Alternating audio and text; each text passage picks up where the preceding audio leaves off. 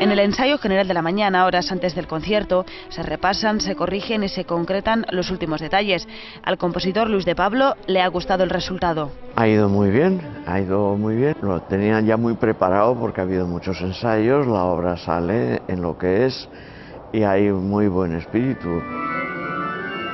El órgano Carl Chuca de Euskalduna cumple 10 años y con ese motivo la Diputación Foral de Vizcaya encargó a De Pablo la composición de la obra que se podrá escuchar esta tarde. Se habló de ser hacer una obra únicamente para órgano, pero yo hice la contraoferta de añadir la orquesta de Bilbao, me parecía que podía ser más rico una obra que el compositor bilbaíno ha querido dedicárselo a su ciudad. He querido hacer la obra más hermosa que yo he sido capaz de hacer y por eso le he dedicado como un regalo a mi pueblo. De Pablo, que ha recibido cientos de premios y distinciones nacionales e internacionales, es el vivo ejemplo de que la música no entiende de jubilación. Yo tengo 80 años y sigo teniendo ganas de componer.